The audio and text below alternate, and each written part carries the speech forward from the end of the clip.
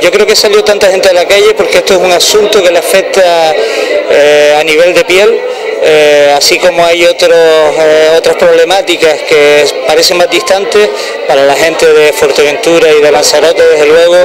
la posibilidad de que mm, tenga que cambiar su modo de vida a veces con costumbres ancestrales, porque a una multinacional se le plantea obtener beneficios en sus costas, en sus costas más cercanas, eso eh, digamos que hay un discurso que es fácil llegar a una gran parte de la población. En segundo lugar, eh, hubo un gran trabajo que ya se utilizó previamente desde el año 2005, en el cual quedaba y que ahora se ha reactivado hubo muchas personas, muchas personas que formaron parte de este movimiento ciudadano, asambleario, y que hicieron un trabajo prácticamente diario durante mucho tiempo. Muchas personas diferentes que hicieron trabajo de divulgación, trabajo de información, trabajo de concienciación. Y por otro lado, no hay que obviar que en este caso también ha habido una postura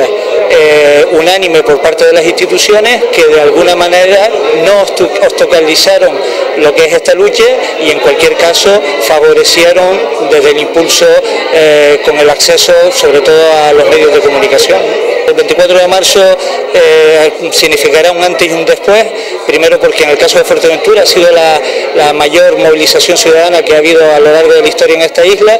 y por lo tanto lo que se ha hecho a partir del 24 de marzo es primero un periodo de reflexión, eh, porque digamos que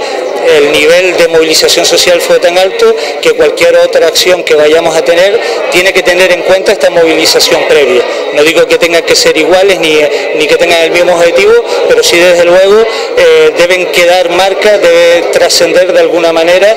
de la misma manera que se hizo el día 24. Entonces desde el 24 de marzo lo que ha habido es un proceso asambleario continuo y lo que se están impulsando son determinadas acciones eh, como esta que acabamos de concluir en Fuerteventura a través de la eh, impartición de una charla de un experto como Marga Valdá, eh, que está impuesto, porque lo he vivido en carnes propias también, sobre todo en Latinoamérica, los resultados de la acción nociva de Repsol y bueno, otras cuantas que van a haber. Mm, posiblemente el fin de semana que viene hay una especie de movilización marítima y también submarina que lo que intentan es primero que no caigan en el olvido, que esto no ha sido un trabajo de un día, entre otros casos porque no hemos ganado la batalla pero lo que tenemos que además es fortalecernos y así lo estamos haciendo, creando coordinación a nivel de toda Canarias, a través de la Federación Ecologista de Magé, a través de otros grupos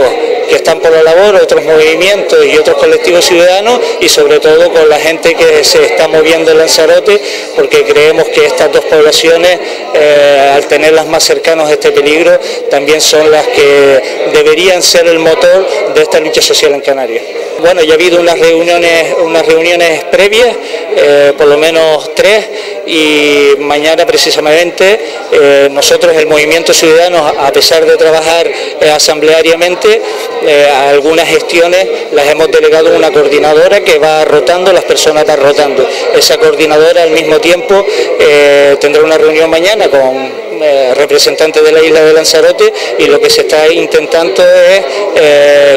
eh, una agenda eh, de información y de, acciones futuras. Y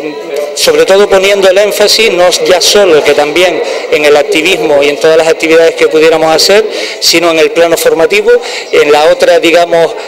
cara de la frase, no a las petroleras y a las renovables, en este sí a las renovables tenemos que primero que formarnos y tenemos que plantear claramente